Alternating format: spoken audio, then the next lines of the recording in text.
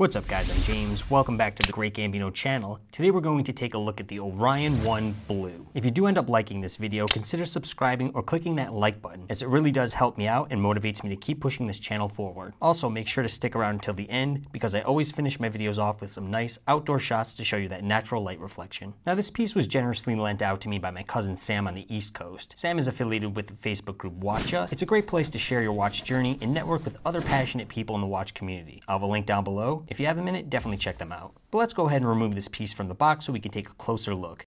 The Orion brand is created and owned by Nick Harris, who is a certified professional watchmaker. I talked more about him and the goal of the company in my last video review of the Orion Calamity. If you'd like to know more, click on the link for that video in the description. This model is special because it's part of Orion's history, as it was the first watch in the line, hence the name Orion 1. The goal with this piece was to create a robust and dressy watch that can handle an assortment of environments.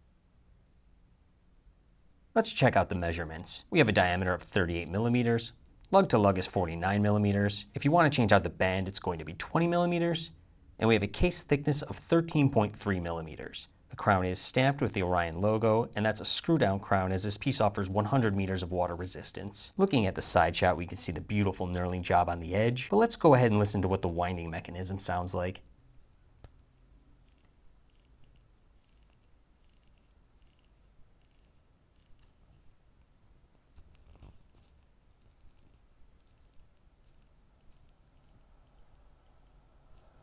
The fixed polished bezel looks very nice and ties in with the overall classic theme. This model also comes with the option of a fluted bezel if you prefer a slightly more eye-catching design. The 316L steel case finishing is listed on the website as the Classic, which consists of polished sides and brushed lug tops. We also see that the lugs are drilled for easy band removal, and you can see here that the lugs are a little on the longer side. This was a decision made by Orion to accommodate many different wrist sizes. The glass is domed sapphire with a blue AR coating on the underside, and of course once you catch the right angle, it creates an illusion as if there's no glass at all.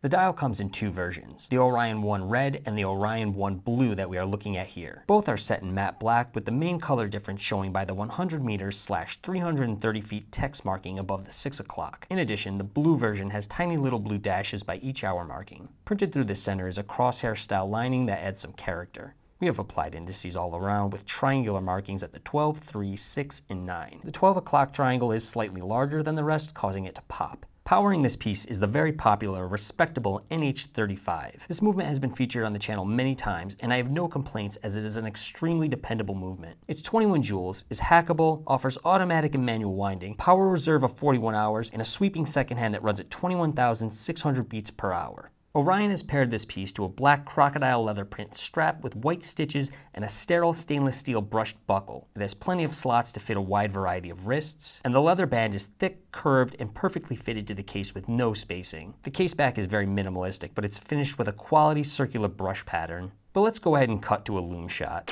The luminous treatment has been added to the hands and hour indices. It's not super bright, but it will definitely get the job done. Here we have a side-by-side -side shot with an American quarter to give you a better representation of scale.